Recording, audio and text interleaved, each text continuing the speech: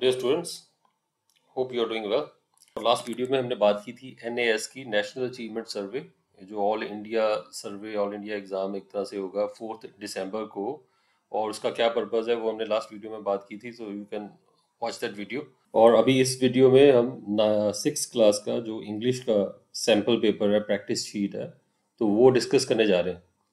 So let's begin तो यहाँ पे हम देखें सबसे पहले यहाँ पे दिया हुआ कि कौन कौन सी कॉम्पिटेंसीज जो है वो टेस्ट की जाएँगी एक तरह से। सो कॉम्पिटेंसीज मीन्स एबिलिटीज़ क्षमताएँ और यहाँ पे ये बात हो रही है identifies main points and summarizes from a careful reading of the text and response coherently so ये एबिलिटी होनी चाहिए बच्चे में कि वो मेन पॉइंट्स जो है वो समझ सके, जो भी टेक्स्ट रीड कर रहा है, जो भी वो लेसन रीड कर रहा है या पैराग्राफ रीड कर रहा है तो उसके जो मेन पॉइंट्स हैं उनको समझ सके, उनको समराइज कर सके और उसके अकॉर्डिंगली रिस्पॉन्ड कर सके। ठीक है? और इसमें कॉन्सेप्ट जो है वो यही है कि पैसेज रीडिंग होगी पोस्टर दिया जाएगा, उसको पढ़ के हम समझेंगे और डायलॉग होगा, दो लोगों के बीच में बातें हो रही हैं तो उनको इन्फर करेंगे, उसको समझेंगे कि क्या बातें हो रही हैं। ठीक है? और यही कॉन्सेप्ट जो है, इसमें कवर करेंगे हम और उसमें और कौन कौन सी कॉम्पिटेंसीज हैं makes own judgments and choices कि खुद की जजमेंट कर सके और चॉइसेस कर सके, चुनाव कर सके कर सके और इवेल्युएट्स द डिफरेंट टेक्स्ट अलग अलग तरह के टेक्स्ट हैं, चाहे स्टोरीज हैं, या पॉम्स हैं, या प्लेज हैं तो उनको वो समझ के तो उसके अकॉर्डिंगली चॉइस अपनी कर सके। और identifies and appreciates different forms of literature और अलग अलग तरह के जो लिटरेचर के फॉर्म्स हैं प्रोज हो गया, ठीक है प्रोज मतलब जैसे लेसन हो गए नॉर्मल एसेज हो गए, या स्टोरीज होगी, या पोएट्री होगी और प्लेज होगी। हर तरह को उसको आइडेंटिफाई कर सके अप्रिशिएट कर सके, और समझ सके उसको। Or identifies the basic linguistic aspects such as sentence style, punctuation, tense, gender and parts of speech. और ये जो अलग अलग आस्पेक्ट्स हैं लैंग्वेज के उसको वो समझ सके। सो so, यहाँ पे हम यही चीज़ कवर करने जा रहे हैं। इसमें तीन चीज़ें करेंगे। एक पैसेज होगा एक पोस्टर होगा और एक डायलॉग होगा। तो उसको लेट्स रीड इट इसको पढ़ के थोड़ा समझने की कोशिश करते हैं। तो so, देखें यहाँ पे क्या लिखा है ये पैसेज दिया हुआ है। Lucknow a large city in northern India is the capital of Uttar Pradesh. So क्या कह रहे हैं? लखनऊ एक लार्ज सिटी है, नॉर्दर्न इंडिया की, उत्तर प्रदेश की कैपिटल है। Lucknow has always been a multicultural city multicultural city रहा है हमेशा। सो कोई डिफ़िकल्ट वर्ड आपको लगे भी तो कोई घबराने की बात नहीं है। आपको मतलब समझ लगता है तो दैट्स गुड नहीं तो you can infer the meaning so थोड़ा अंदाजे से भी आप मीनिंग शुरू में देख सकते हो, उसमें कोई घबराने की बात नहीं है। सो मल्टी कल्चरल जहाँ पे अलग अलग कल्चर हैं। बहुत सारे कल्चर्स हैं। Uttar Pradesh is a state in northern India और ये जो स्टेट है उत्तर प्रदेश की ये कहाँ पे है? नॉर्दर्न इंडिया में है भारत के नॉर्थ में है। The state is known for its weavers all over the world और ये जो स्टेट है अपने वीवर्स के लिए जानी जाती है पूरी दुनिया में। तो so, वीवर्स क्या है? अगेन आपको मीनिंग नहीं पता हो तो कोई दिक्कत नहीं है। वैसे वीवर्स का मतलब क्या है? जुलाहे। तो so, जुलाहे कौन है जो बुनते हैं जो धागा बुनते हैं धागे बुन के उससे जो है अलग अलग कपड़े या दरिया या कारपेट्स कई चीज़ें बनाते हैं। सो so अगेन आपको मीनिंग ना भी पता हो तो आप बाकी को रीड करें तो बाद में अपने आप पता चल जाता है।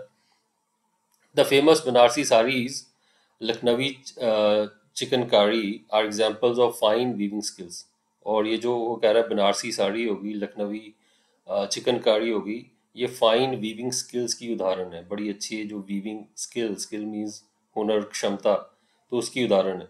तो अभी जैसे हमें मान लो आपको वीवर्स का मतलब नहीं भी पता था तो जब आप अगली लाइन रीड करोगे, बनारसी साड़ी की बात हो रही है, लखनवी चिकनकारी की हो रही है का मीनिंग तो आपको एटलीस्ट पता ही होगा। तो उससे आप अंदाज़ा लगा सकते हो कि वीविंग का जो लेना देना है, कपड़ों के साथ कोई उसका लिंक है। सो इस तरीके से समझने की हमने कोशिश करनी है। Some important cities are Meerut Agra Kanpur Prayagraj and Varanasi ये इंपॉर्टेंट सिटीज़ के नाम बताए हैं यूपी के उत्तर प्रदेश के।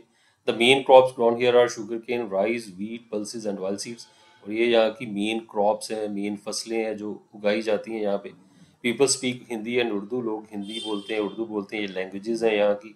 They celebrate Dussehra, Diwali, Holi, Eid and Christmas और ये सारे त्यौहार हैं।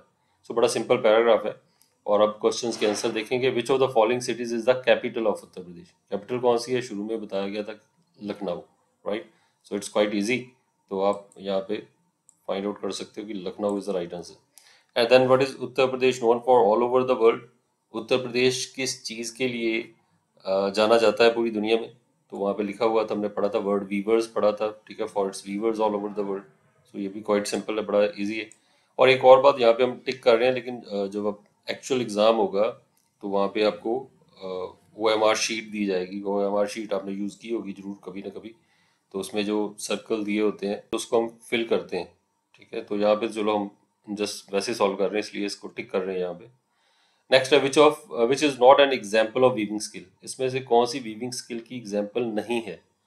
ठीक है सो नहीं है इसमें साड़ी, साड़ीज की बात पैराग्राफ में की गई थी ऑलरेडी तो ये तो तुम्हें पता ही है कि साड़ी वीविंग स्किल है चिकनकारी की बात भी हुई थी, ये भी वीविंग स्किल है।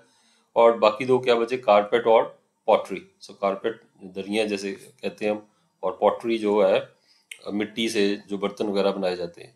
तो इनमें से दोनों में से कौन सी चीज़ इन दोनों से मैच कर रही है? कारपेट मैच कर रहा है। कारपेट भी धागों से बनाए जाते हैं, जैसे साड़ीज और चिकनकारी होती है। तो इसलिए कारपेट तो इसी कैटेगरी में आ जाता है। कारपेट वीविंग स्किल ही है और कौन सा वीविंग स्किल नहीं है ऑब्वियसली इट इज़ पॉटरी तो मैं आपको आइडिया दे रहा हूँ। गिविंग यू एन आइडिया कि how to solve the sort of question हम यही वाला पैरा एग्जैक्टली exactly एग्ज़ाम में नहीं आएगा बट ठीक है कि इसको तरीका हमने सीखना है कि कैसे कोई भी पैराग्राफ आ जाए तो हमें मीनिंग ना भी पता हो किसी चीज़ का तो कैसे उसको हम फाइंड आउट कर सकते हैं?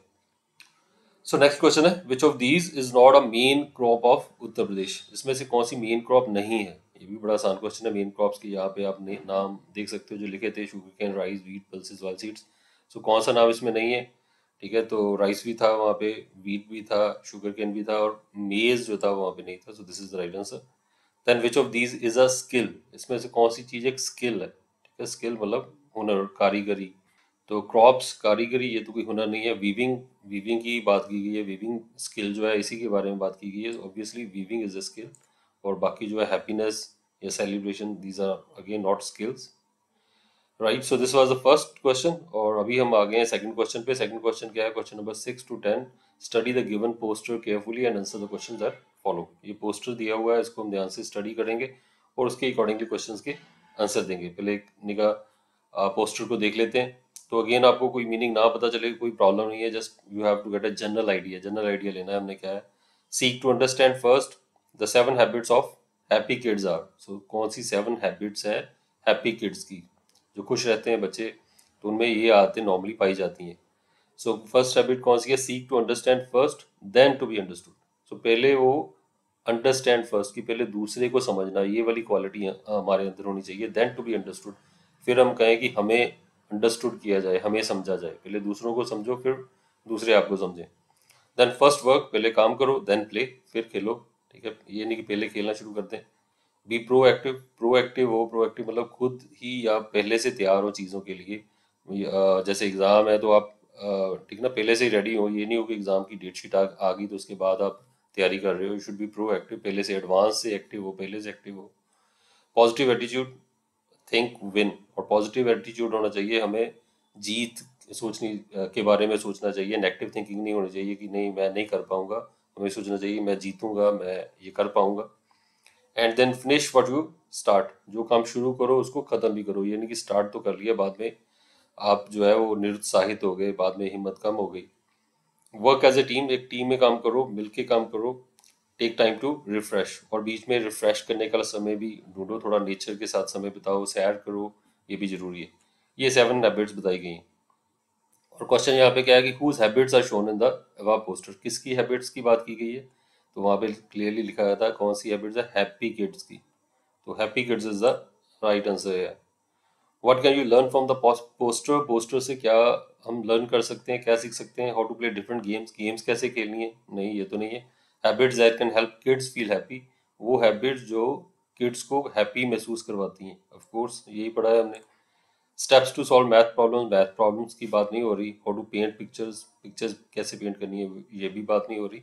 So second option is the right one and then what does it mean to have a positive attitude so positive attitude होने का क्या मतलब है? Always being happy and smiling हमेशा हैप्पी uh, रहना हमेशा मुस्कुराना right looking for the good in situations and people हालातों में और लोगों में अच्छाई देखना उनमें। Ignoring others when they are sad जब कोई दूसरे लोग सैड हो दुखी हो तो उनको इग्नोर करना उनकी परवाह ना करना। Thinking only about yourself सिर्फ़ अपने बारे में सोचना। और थर्ड और फोर्थ तो दूर से ही पता चल रहा है कि ऑप्शन ये गलत है। ठीक है? किसी को सैड है तो उसको हम इग्नोर कर दें। ये पॉजिटिव एटीट्यूड नहीं है।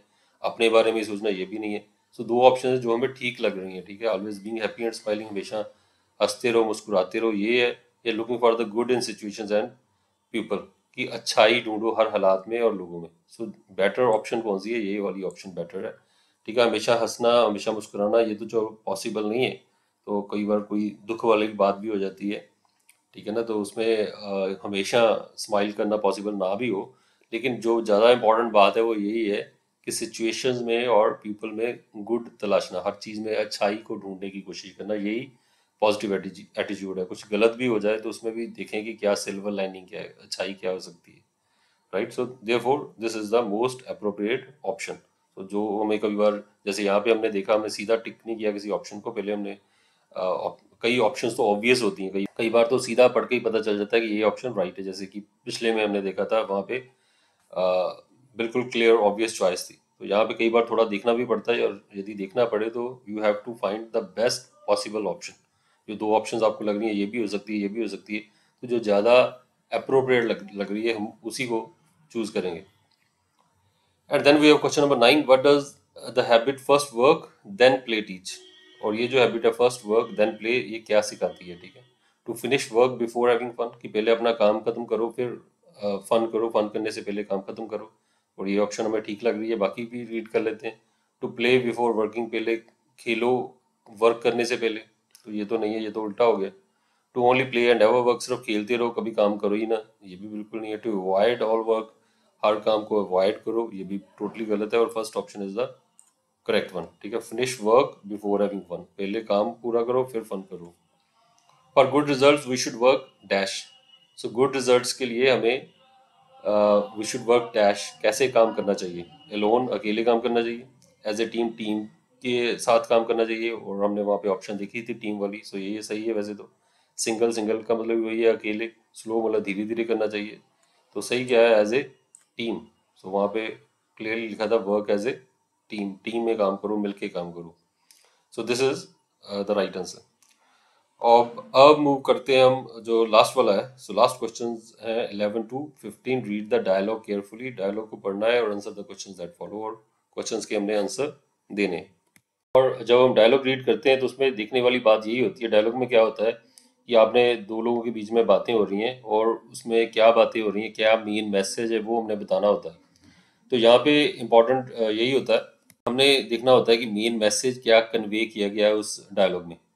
सो so, उसमें बेसिकली स्टार्ट की जो कुछ डायलॉग्स होते हैं बातें होती हैं वो तो नॉर्मल होती है वो तो ये बताती हैं कि कौन किसके साथ बात कर रहे हैं। और मेन जो मैसेज है वो लाई समवेयर इन बिटवीन वो बीच में कहीं पे जाके आती है जो आमतौर पे लंबा सेंटेंस लिखा होता है तो मेन मैसेज मैसेज उसी में छिपा होता है तो वो हमने ध्यान से देखना होता है। सो लेट्स रीड हियर तो यहाँ पे बात हो रही है मदर और राजू के बीच में। सो मदर क्या कह रही है, Raju pick up the phone please phone उठाओ। राजू कह रहा है okay mom Raju pick picks up the phone and talks वो फ़ोन उठाता है, बातें करता है। इट इज़ फादर्स कॉल किसकी कॉल है, किसका फ़ोन है? फादर का।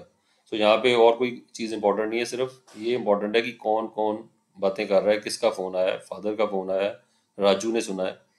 So mother whose phone call was it so mother क्या पूछती है, किसका फ़ोन था? वो कहते हैं मॉम इट वाज डैड्स पापा का फ़ोन था, ये भी जस्ट नॉर्मल बातें हो रही हैं। मदर ने कहा वर्ड डिड से उन्होंने क्या कहा? तो यहाँ पे मैसेज आ रहा है कि कहा क्या है, जो मेन कन्वे किया गया है मैसेज राजू क्या कहता है ही सेट दैट उन्होंने कहा he would be late due to some important meeting in the evening कि वो कोई इंपॉर्टेंट मीटिंग है शाम को तो इसलिए लेट हो जाएँगे। तो ये इंपॉर्टेंट मैसेज है, इसको समझना है हमने। सो मदर ने कहा ओके और फिर आगे कहता है Raju mom who invented the telephone mom telephone का आविष्कार किसने किया था? तो यहाँ पे थोड़ा एडिशनल बातें हो रही हैं ये भी चलो इम्पोर्टेंट है। सो so, मदर ने कहा son Alexander Graham Bell invented it Alexander Graham Bell ने इन्वेंट किया था आविष्कार किया था फ़ोन का। It helps us to communicate with people sitting far away और ये फ़ोन जो है ये हमें हेल्प करता है कम्युनिकेट करने के लिए लोगों के साथ जो दूर बैठे हैं। तो उनसे बात करने में मदद करता है। तो राजू कहता है mom nowadays mobile has taken the place of landline phones आजकल मोबाइल्स ने लैंडलाइन फ़ोन की स्थान ले लिया है. तो वो कह रही है मदर यस डियर हाँ mobile phones enable us to talk text and take pictures mobile phone मदद करते हैं हमारी टॉक करने में, बातें करने में टेक्स्ट करने में मैसेज करने में और पिक्चर्स लेने में. एंड राजू क्या कहते हैं finally mom please give me a mobile as a gift on my birthday तो मॉम फिर मोबाइल मुझे देना गिफ्ट के तौर पे मेरे बर्थडे पे। मोम से पहले वो बातें करवा लेता है कि फ़ोन ज़रूरी चीज़ है और फिर वो जो है वो चलाकी से कहता है कि मोम मोबाइल दे देना मुझे गिफ्ट के तौर पे मेरे बर्थडे पे। सो so, ये बातें हो रही हैं राइट अब हमने इस कन्वर्सेशन में देखना है कि क्या इंपॉर्टेंट चीज़ है। द कन्वर्सेशन इज़ बिटवीन और पहली बात हो रही है जो कन्वर्सेशन हुई है वो किस किस के बीच में हुई है? ठीक है सो किसके बीच में हुई है? Raju and his father mother and father Raju and his mother और राजू एंड हिज फ्रेंड ठीक है तो उसमें हम देखें तो बातें किसमें हो रही हैं? Mother Raju Raju mother so इन्हीं में बातें हो रही हैं। पापा का फ़ोन आया था हालाँकि, लेकिन फादर का कोई डायरेक्ट डायलॉग नहीं है। सो अब कन्वर्सेशन किस किसमें हो रही है? Raju and his mother so बाकी ऑप्शन थी Raju and his father so Raju और फादर की डायरेक्ट कन्वर्सेशन नहीं है मदर फादर की भी डायरेक्ट नहीं है राजू एंड इज़ फ्रेंड की भी नहीं है। जो डायरेक्ट कन्वर्सेशन है वो राजू और उसकी मदर के बीच में हो रही है। Whose phone call was it so phone call किसकी थी? फ़ोन किसका आया था? मदर का फ्रेंड का सिस्टर का या फादर का ऑब्वियसली फादर का फ़ोन आया था, फादर्स कॉल इट वाज और थर्टीन है why would his father be late उसके पापा लेट क्यों हो जाएँगे?